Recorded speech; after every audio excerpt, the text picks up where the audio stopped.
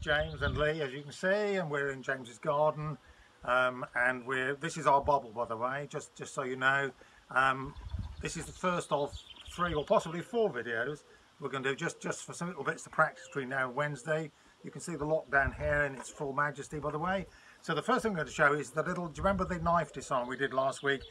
That is in slow mo because it was a bit hard to see last week. So so there's there's the nasty person with the knife. So what we're going to aim to do is that we're going to do a clap, basically like that. The left hand comes across on the back of the palm. That hand comes across on the wrist and has the effect of doing that. Does that make sense? So if we do it slightly faster, the knife comes out of the hand. See? What could be easier? If we do it the other way around, so again, I'm going to aim to clap there and stop it there. So it basically does that. Okay, that's the first video. Thanks for that. Second video coming up shortly. Hi, we're back. This is the second video. This is Ikkyo, or I like to call it Osteos. We just call it different things. This is one that I know that um, Paul and Sue and Jessica will know. Maybe not um, Alex and Mark and family. But this, this is one from a grip. So again, if we do it nice and slow, what happens is the grip comes in here. The Ikkyo bit is what you do with the hand. Hand comes up, twisting, twisting, twisting. See, nice twist on the wrist. As you do that, the left arm goes, the left hand, sorry, goes underneath the elbow, pushes over the top of the head, over the top of the head, step through deep, deep, deep, deep, and you end up with a lock, okay? So if we do that slightly faster, and the important thing there is it's the timing. If you wait till he grips hard, I can't do anything because he's too strong. If I get the timing right, as it comes in, sorry, sorry, it works.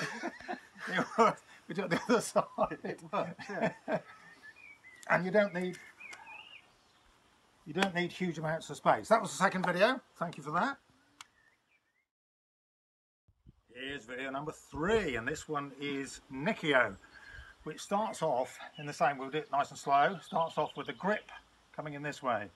What I'm going to do here is grip with that hand. So it's there, grip, bring this over the top, bring this over the top, Notice the bend in the wrist and then I want hand blade down like that.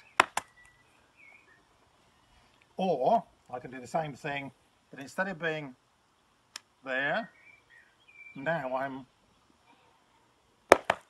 doing like a motorbike throttle control. Does that make sense? We'll do it the other way around. so the first one, sorry, grip, twist, and lay down your centre line and hookies or exactly the same again grip motorbike throttle control twisting towards your own centre line thank you Lee okay that's the third one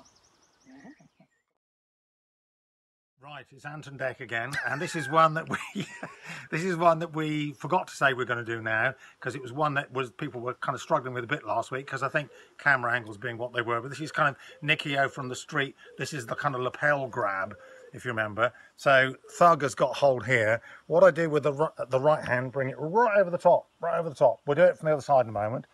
Thumb on the back and start to turn. You've got to get a good turn on the arm going with the arm bent and then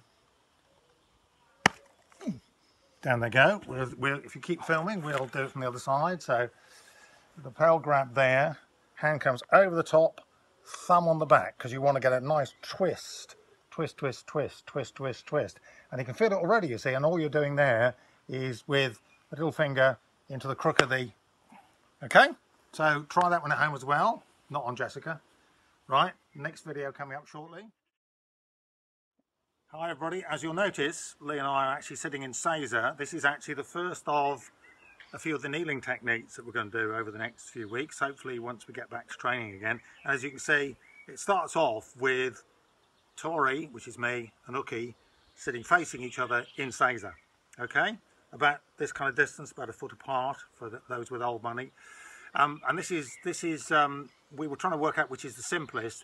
This is actually um, a Gyaku Gamae Ate, from a, a uh, from a, a, kneeling position.